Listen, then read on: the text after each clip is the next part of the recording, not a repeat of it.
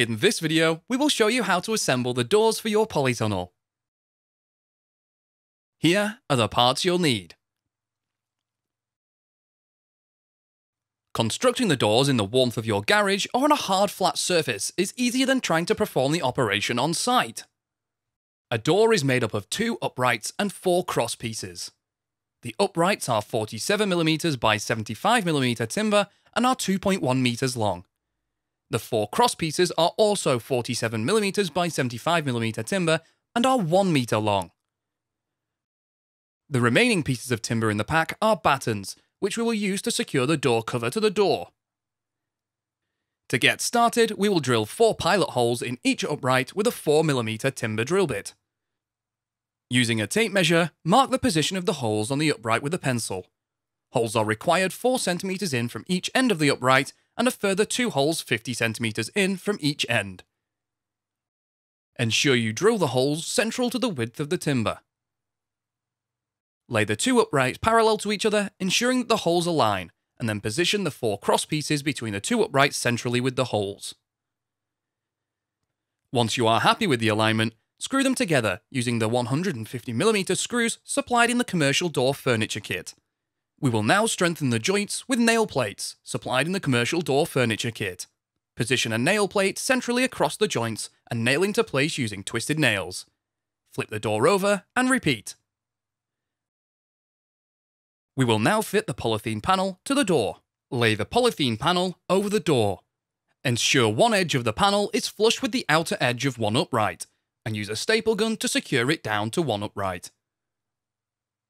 Pull the panel tight across the width and secure it to the opposite upright, ensuring there are no wrinkles or creases in the panel. Now secure the panel to one end of the door whilst pulling any creases out. Secure the panel to the opposite end of the door. Finally, nail the battens around the frame on top of the panels. This will further secure the panels in position. The battens are 19mm by 38mm timber and come in 1.8 meter lengths. You will be required to cut battens to size. The uprights require one full batten and a shorter piece, cut to size. Position the batten flush with the inner edge of the door. Secure in position with nails approximately 20 centimeters apart. Repeat on the opposite upright. Now measure and cut battens for the four cross pieces and secure in place. Trim the excess polythene off with a sharp knife.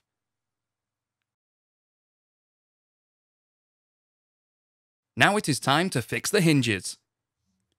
Hinges are fixed to the inner side of the door on the two middle cross pieces.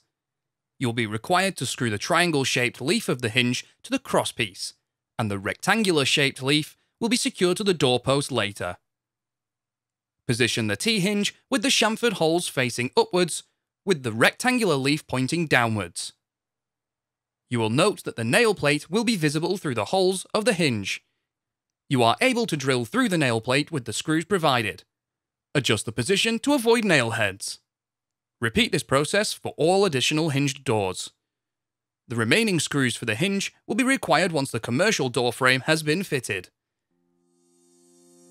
You can find more videos to help you build your polytunnel and construct.firsttunnels.co.uk. We also have a construction helpline if you require any further assistance.